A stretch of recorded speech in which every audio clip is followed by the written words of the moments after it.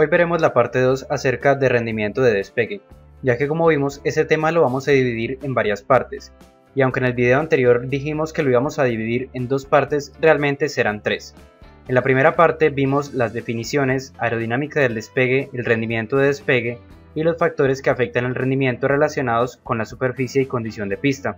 En esta segunda parte veremos los temas relacionados a los factores que afectan el rendimiento en cuanto al ambiente, es decir, la densidad del aire y el viento. En la parte 3 veremos los factores que afectan el rendimiento relacionados con la aeronave, como lo son el peso, la configuración de despegue y la potencia utilizada. Habiendo aclarado esto entonces, iniciemos con los factores ambientales que afectan el rendimiento, iniciando por estos tres, la presión, la temperatura y la humedad, los cuales en conjunto determinan la densidad del aire. Como sabemos, densidad es cantidad de masa por volumen, en este caso cantidad de masa de aire. Por ejemplo, cuando hablamos de alta densidad de aire, significa que tenemos una mayor cantidad de masa de aire en un cierto volumen, mientras que si hablamos de baja densidad de aire, significa que tenemos una menor cantidad de masa, es decir, que hay menos aire en el mismo volumen. Pero entonces, ¿cómo se relaciona la presión, la temperatura y la humedad en cuanto a la densidad del aire? Pues bien, una alta densidad de aire está relacionada a baja temperatura, baja humedad y alta presión, mientras que por el contrario, una baja densidad de aire está relacionada a altas temperaturas, alta humedad y baja presión. Ya que vimos esta breve explicación acerca de la densidad del aire y los factores que la afectan, veamos qué tiene que ver con el rendimiento de despegue. La densidad, compuesta por estos tres factores, afecta principalmente a la potencia del motor, el empuje producido y la velocidad requerida para despegar. Normalmente, una mayor densidad de aire se relaciona a un mejor rendimiento, mientras que poca densidad de aire representa un menor rendimiento. Antes debemos saber que la mayoría de fabricantes y operadores toman como referencia un valor de densidad para las condiciones atmosféricas, que es conocido como altitud de densidad, del cual ya hablamos en un video anterior acerca de la altitud de presión y la altitud de densidad.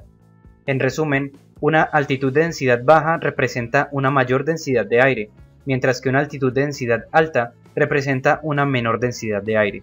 Teniendo esto en cuenta, iniciemos con la potencia del motor.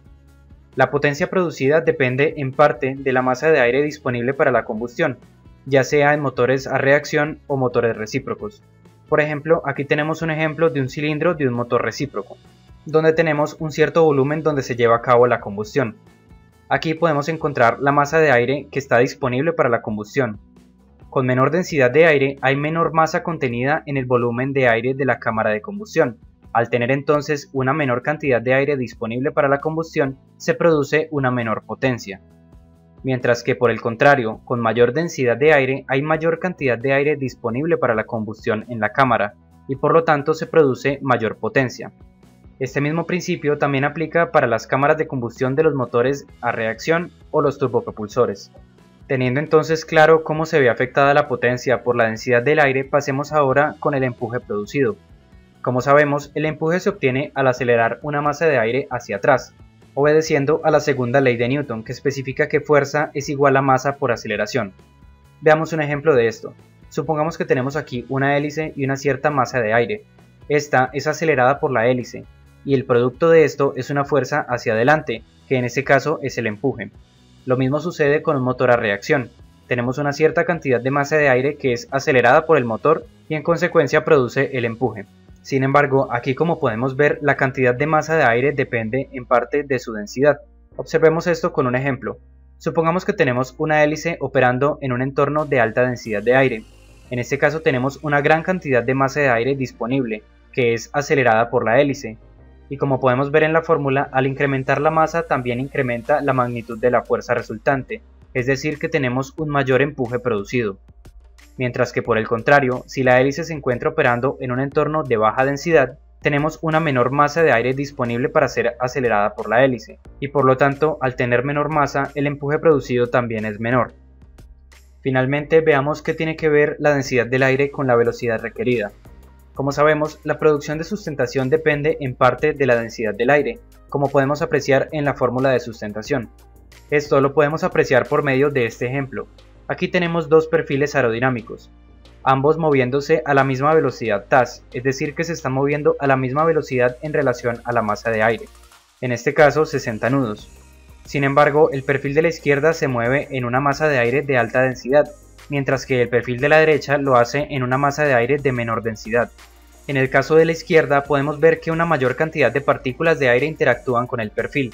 Esto significa que produce mayor sustentación, mientras que por el contrario, el perfil de la derecha interactúa con menor cantidad de partículas de aire, y por lo tanto también produce menor sustentación. Habiendo comprendido esta idea básica, debemos recordar que para el despegue se requiere generar una cierta cantidad de sustentación que pueda superar al peso. Bajo condiciones de alta densidad se produce mucha más sustentación, por lo tanto la velocidad requerida es menor, es decir, en condiciones de alta densidad la aeronave alcanza la sustentación necesaria para despegar a una menor velocidad, lo cual a su vez requerirá una menor distancia de carrera de despegue, haciendo que aumente el rendimiento.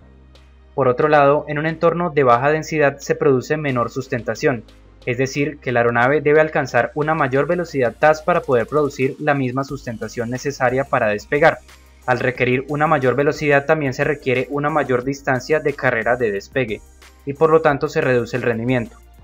Ahora, cabe aclarar que estamos hablando acerca de la velocidad requerida TAS, es decir, velocidad verdadera con respecto a la masa de aire, ya que la velocidad indicada IAS requerida para el despegue no varía con la densidad, pues esta depende de la presión de impacto del aire como tal. Únicamente varía la velocidad TAS y por lo tanto también varía la velocidad sobre el terreno. Para poder entender un poco mejor la relación entre estos tres tipos de velocidades, pueden ver el video acerca de velocidades que se encuentra en este canal. Ahora, ya que vimos la importancia y cómo afecta la densidad al rendimiento de despegue, veamos algunos ejemplos. Supongamos que nos encontramos próximos a despegar en el aeródromo A, bajo las siguientes condiciones. Tenemos una temperatura de 10 grados centígrados relativamente baja, una humedad relativa del 60%, que también es baja, y una presión de 29 pulgadas de mercurio, que es relativamente alta. Debemos recordar que esa es la presión medida en la estación, es decir que estamos hablando de QFE, y que en condiciones estándar corresponde a una altitud de presión de aproximadamente 800 pies, relativamente baja. Todas estas condiciones combinadas resultan en una alta densidad de aire. Esto significa que vamos a tener una mayor potencia, un mayor empuje y una menor velocidad requerida, lo cual se traduce en una menor distancia de carrera de despegue y un mayor ángulo de ascenso, es decir que la aeronave presenta un alto rendimiento de despegue. Veamos ahora otro ejemplo. Supongamos que vamos a despegar con la misma aeronave pero de otro aeródromo, en este caso el aeródromo B, bajo las siguientes condiciones. Temperatura de 30 grados centígrados relativamente alta, una humedad relativa del 100% y una presión de 24 pulgadas de mercurio, que esta, siendo el QFE, corresponde a una altitud de presión de 6.000 pies en condiciones estándar, es decir, una altitud de presión bastante alta. En resumen, tenemos baja presión. Estos factores combinados dan como resultado una baja densidad de aire, es decir, que vamos a tener una menor potencia, un menor empuje y una mayor velocidad requerida para despegar, lo cual se traduce en una distancia de carrera de despegue larga y un menor ángulo de ascenso, es decir, bajo rendimiento en el despegue. Ya que vimos los factores ambientales relacionados con la densidad del aire, pasemos con el siguiente factor ambiental, el viento. El viento afecta la velocidad ground speed en relación con la velocidad TAS, es decir, que afecta la distancia de carrera de despegue y de ascenso inicial. Para entender esto un poco mejor debemos ver lo siguiente. Para despegar, una aeronave requiere una cierta velocidad con respecto al aire TAS, independientemente de la velocidad con respecto al terreno, ya que lo que importa en sí es la velocidad con respecto al aire, pues esa es la que determina las características aerodinámicas y de producción de sustentación. Por lo tanto, el viento, al ser un movimiento de la masa de aire como tal, juega un papel importante en esto. Veamos esto con un ejemplo. Supongamos que nos encontramos próximos a despegar en una aeronave que requiere una velocidad TAS de 50 nudos para despegar. Para este primer ejemplo vamos a suponer que no hay viento, es decir que se encuentra el viento en calma. Al estar quieta la masa de aire, para poder alcanzar una velocidad de 50 nudos con respecto al aire, se debe alcanzar una velocidad de 50 nudos con respecto al terreno. Pues bien, ahora supongamos que tenemos un viento de frente, de 20 nudos. Como sabemos entonces, lo único que importa es alcanzar una velocidad con respecto a la masa de aire de 50 nudos, y ya que la masa de aire se está moviendo hacia la aeronave a una velocidad de 20 nudos, la aeronave únicamente tendrá que acelerar hasta una velocidad sobre el terreno de 30 nudos. Por otro lado, si tenemos un viento de cola, por ejemplo de 20 nudos, Para poder alcanzar una velocidad TAS de 50 nudos con respecto al aire, la aeronave tendrá que acelerar sobre el terreno a una velocidad de 70 nudos, ya que en este caso la masa de aire se está moviendo en la misma dirección que la aeronave. Pues bien, habiendo comprendido esto, veamos un ejemplo completo. Supongamos que nos encontramos próximos a despegar en la pista en el Brakes Release Point, es decir, el punto estacionario, en una aeronave que requiere una velocidad TAS de 60 nudos para despegar. Para este primer ejemplo vamos a suponer que tenemos viento en calma. Al tener viento en calma, como recordaremos, la TAS es igual a la ground speed, es decir que la ground speed requerida para despegar es también 60 nudos. En otras palabras, la aeronave deberá acelerar hasta obtener 60 nudos con respecto al terreno para poder despegar. Esto dará como resultado una cierta distancia de carrera de despegue. Asumiendo que esta aeronave continúa su ascenso a una velocidad TAS de 60 nudos, también tendrá una velocidad ground speed de 60 nudos, lo que dará como resultado una cierta distancia de despegue. Teniendo ahora este marco de referencia, veamos las dos condiciones, es decir, viento de frente y viento de cola iniciando por el viento de cola. En este caso tenemos un viento de cola de 10 nudos y estamos en la misma aeronave, que requiere una TAS de 60 nudos para despegar. Como recordaremos, con un viento de cola la ground speed es mayor que la velocidad TAS, es decir, que la velocidad ground speed requerida para despegar es de 70 nudos. En otras palabras, la aeronave deberá acelerar hasta obtener 70 nudos con respecto al terreno, para poder así alcanzar los 60 nudos de velocidad TAS con respecto al aire. Al tener que acelerar a una velocidad mayor vamos a tener también una mayor distancia de carrera de despegue. Y asumiendo que esta aeronave continúa su ascenso a 60 nudos TAS, la ground speed también será mayor, de 70 nudos, lo que dará como resultado una mayor distancia de despegue. Como podemos ver, despegar con viento de cola aumenta la carrera y distancia de despegue requerida, y por lo tanto reduce el rendimiento de despegue. Veamos ahora el caso contrario, Supongamos que estamos en la misma aeronave pero con un viento de frente de 10 nudos. Aquí, como recordaremos, la velocidad ground speed es menor que la velocidad TAS, ya que tenemos viento de frente. Es decir, que la ground speed requerida para despegar es de 50 nudos. En otras palabras, la aeronave deberá acelerar hasta obtener 50 nudos con respecto al terreno para poder así obtener los 60 nudos con respecto al aire. Al tener que acelerar a una menor velocidad, tendremos también una menor distancia de carrera de despegue, y a su vez, asumiendo que esta aeronave mantiene los 60 nudos de velocidad TAS, la ground speed también será menor, y por lo tanto tendremos una menor distancia de despegue.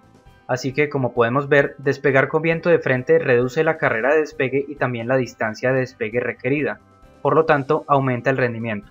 Con esto concluimos los factores ambientales que afectan el rendimiento de despegue. En el próximo video veremos los factores relacionados a la aeronave como tal. Espero que este video les haya servido para entender un poco mejor cómo se ve afectado el rendimiento por la densidad del aire y el viento.